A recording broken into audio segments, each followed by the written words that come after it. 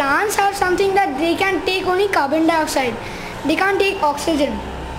Why?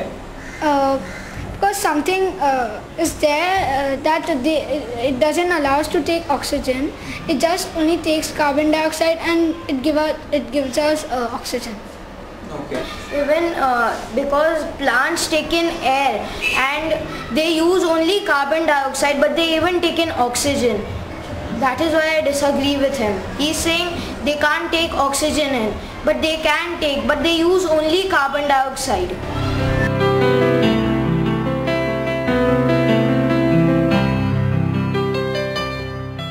At night, when the sun is not there, they then at that time also they take in carbon dioxide. and give out Um. I know that much that they don't uh, uh, cook food that time Okay. because there's no sunlight. They need sunlight for the process of photosynthesis. So what what do you think do, do you think that they're taking in uh, at night? Um, oh, well, they uh, might be uh, taking in uh, um, the the they might be not uh, making the food, but they might be taking in carbon dioxide and giving out oxygen because when you sleep, also you breathe, and you inhale and you exhale. So you're saying that uh, plants breathe in carbon dioxide without oxygen. Okay. They don't breathe in oxygen. So at night, at night, So at night they breathe in oxygen.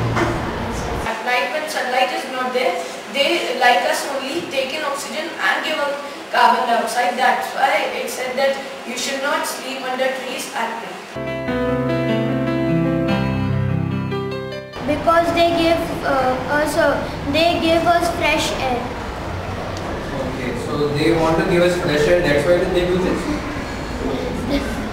Uh, uh, they give uh, they give oxygen for for us uh, so that we can breathe.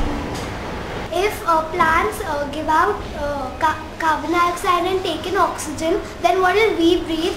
And then there'll be an imbalance uh, of uh, oxygen and carbon dioxide. I don't understand.